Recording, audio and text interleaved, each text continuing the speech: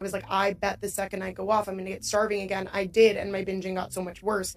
TikTok star Remi Bader details her past experience with the drug Ozempic and says she gained double the weight back after using it. The content creator opens up on the Not Skinny But Not Fat podcast with Amanda Hirsch, saying, I get triggered by so many things with weight because I am also sensitive to it in a way that I'm like almost annoyed that it's this trendy thing now when I went on it for like Why were you issues. offered it to go pre-diabetic, insulin resistance, gaining 50 to 80 pounds, like real, you know, reasons that But like you know I wasn't judging real reasons. right. And I think that's what people are mistaking right now with a lot of people that are talking about it.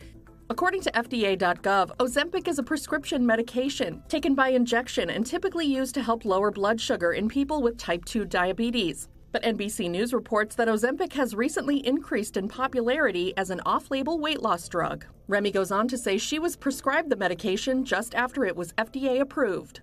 Like you I've were offered it some- not for vanity. You were offered it because your doctor thought Yeah, when, and also it was brand new, and I just like was like, they said I need this. She then outlines her experience after stopping Ozempic.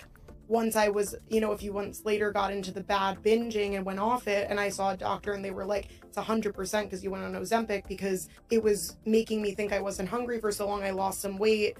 I didn't want to be like obsessed with being on it long term. And I was like, I bet the second I go off, I'm going to get starving again. I did, and my binging got so much worse. So then I kind of blamed Ozempic. Mm. So it doesn't work when you get off of it. Like you have to be on it. So it's I gained double the weight back. Back in May of 2022, Remi announced to followers on TikTok that she planned to undergo outpatient treatment for binge eating. you know, I started feeling that things are getting worse for me of how I feel about myself, my body, um, my confidence. And obviously, a lot of that has to do with like my binge eating. So I'm starting tomorrow um, this pretty, you know, serious outpatient treatment at a facility.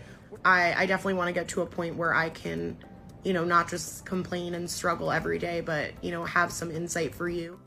If you or someone you know needs help, please call the National Eating Disorders Association helpline at 1 800 931 2237.